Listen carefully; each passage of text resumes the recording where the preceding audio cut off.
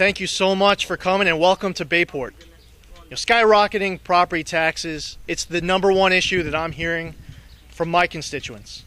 For senior citizens, it's forcing so many to have to leave Long Island. For young families, it's making it difficult to buy that house for the first time.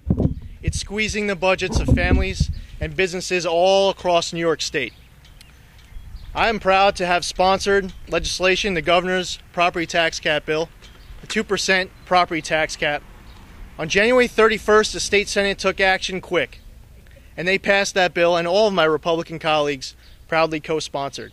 But it's been months, and we've been waiting for the Assembly to take action. We all, whether it's us as senators or our constituents from all across Long Island throughout New York State, have been waiting for the Assembly to take action. I applaud Governor Cuomo for traveling New York State in support of his property tax cap bill. It's important that he exercise that leadership in directing everyone towards the Assembly. We appreciate all of those who support this property tax cap bill and have been trying to rally for more support. But it's important that we direct that towards the state assembly because they have failed to act. Many have many groups from across New York State have supported our efforts. They include the Business Council, NFIB, Unshackle.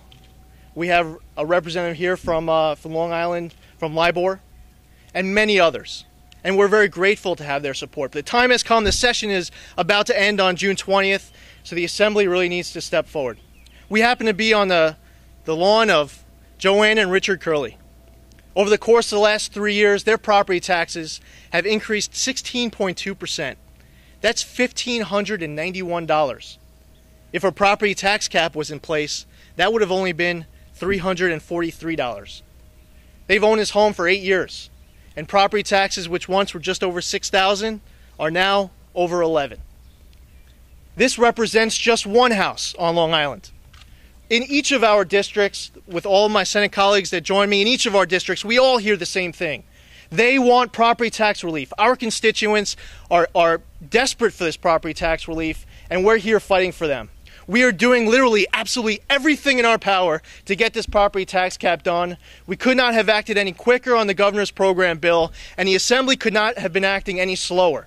But it's time for them to provide this relief for our constituents, and that's why we're here today. I'd like to introduce uh, the leader of the, the Senate, someone who has been very supportive of me and my efforts to fight for the residents of the 3rd Senate District. Uh, for Senator Martins, uh, my, my fellow uh, freshman senator and his efforts to fight for the residents of the 7th Senate District, and that's the Senate Majority Leader, Dean Skelos. Thank you very much. Uh, it's great to join with you. The uh, weather held up. We've had a, a, few days of rain, and uh, we're going to perhaps have a few more days of rain. But I think the good Lord is looking down and saying, let them have a little opportunity here to talk about the importance of the property tax cap. You know that New York State is the number one exporter of population, number one in the entire nation. The reason for that taxes, taxes, taxes. And with all the taxes, whether it's the state level or the local level, the net result is no jobs, no jobs, no jobs. And I want to thank Senator Zeldin and all my colleagues that are here Senator Fuschillo, Marcellino, LaValle, uh, Flanagan, Senator Zeldin, and Senator Martins for understanding and working with us so diligently uh, to see the property tax cap bill passed in the Senate. As Senator Zeldin said in January, when I spoke to the governor, he said, Governor, what's the number one priority? He said, getting a property tax cap bill. I said, okay, we're going to pass it right away. The next day, the Senate passed it with bipartisan support. Bipartisan support. And we've been waiting now for months for the Assembly Democrat leadership to put the bill out to the floor. And if they did, I know that this bill would pass overwhelmingly. It's critically important that on the state level, we've brought our spending under control. This is a budget where we actually reduce spending. Can't remember the last time that happened.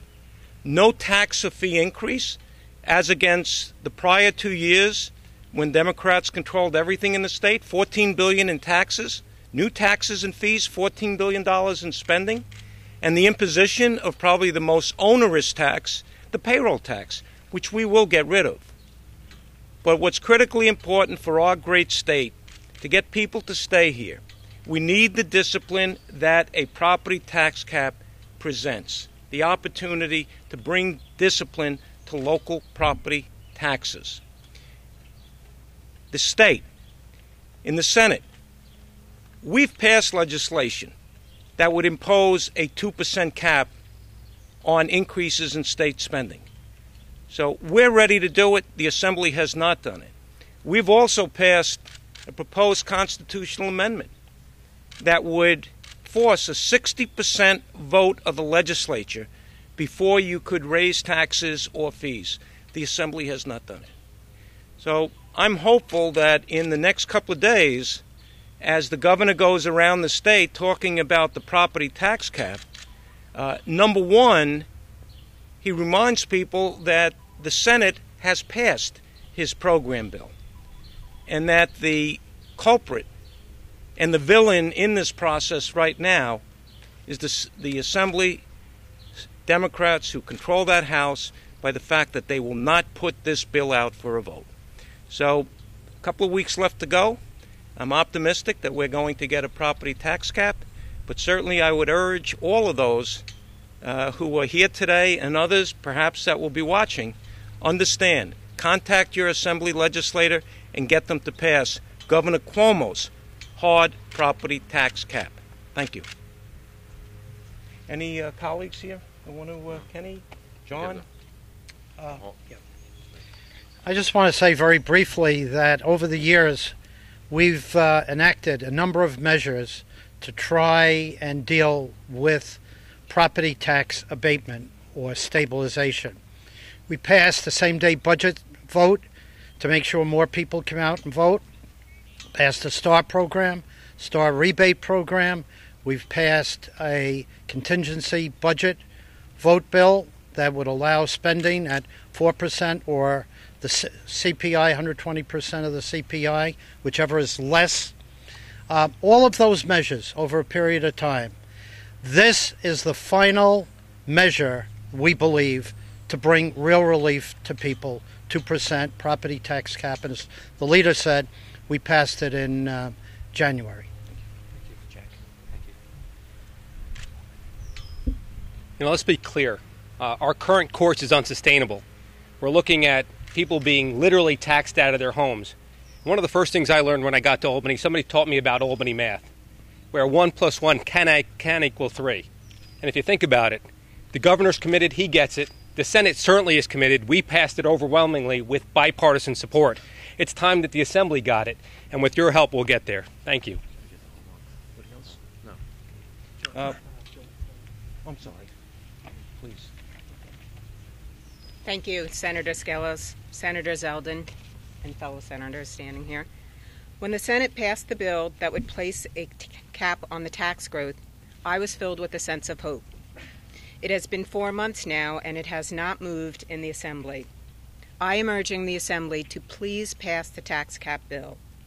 The burden of taxes to Long Islanders and all New Yorkers is unsustainable.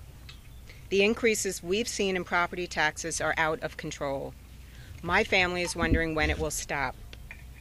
We all hear about the difficulties of high taxes to our seniors and to the young adults just starting out who cannot afford to stay on Long Island.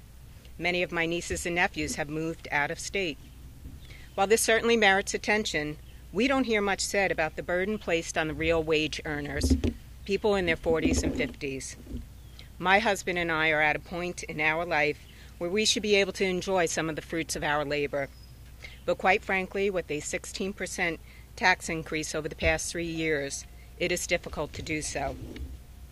43 states have already passed bills to cap local taxes. Why is Speaker Silver resistant to put this up to a vote?